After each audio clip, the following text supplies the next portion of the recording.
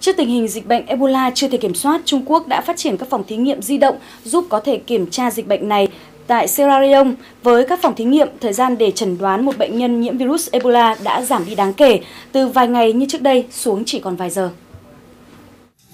Trung bình một ngày, các phòng di động kiểu này sẽ kiểm tra được khoảng gần 20 mẫu bệnh phẩm bị nghi là nhiễm virus Ebola.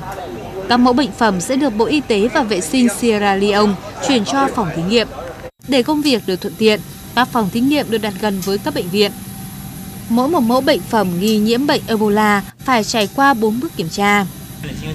Virus Ebola là virus vô cùng nguy hiểm. Nếu không kiểm tra kỹ lưỡng thì chúng tôi khó có thể phát hiện. Với các loại virus khác, chúng tôi chỉ đặt ra 3 mức độ và kiểm tra trong 3 bước. Nhưng với loại virus này, chúng tôi đã phải tăng thêm một bước.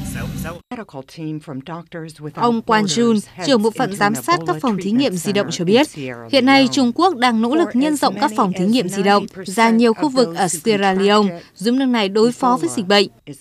Đến nay đã có 5.843 trường hợp mắc Ebola, hơn 3.000 người đã tử vong, trong đó ở Sierra Leone có 605 người thiệt mạng. Dù vậy, con số vẫn chưa có dấu hiệu dừng lại.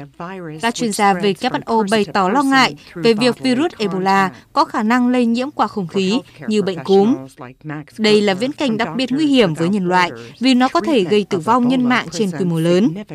Trong một diễn biến tích cực, theo nguồn tin từ Văn phòng Quốc gia của Thái Lan, một nhóm bác sĩ đã nghiên cứu thành công một loại vaccine chứa các kháng thể chống lại virus Ebola, dịch bệnh mà hiện thời chưa có phương thức chữa trị.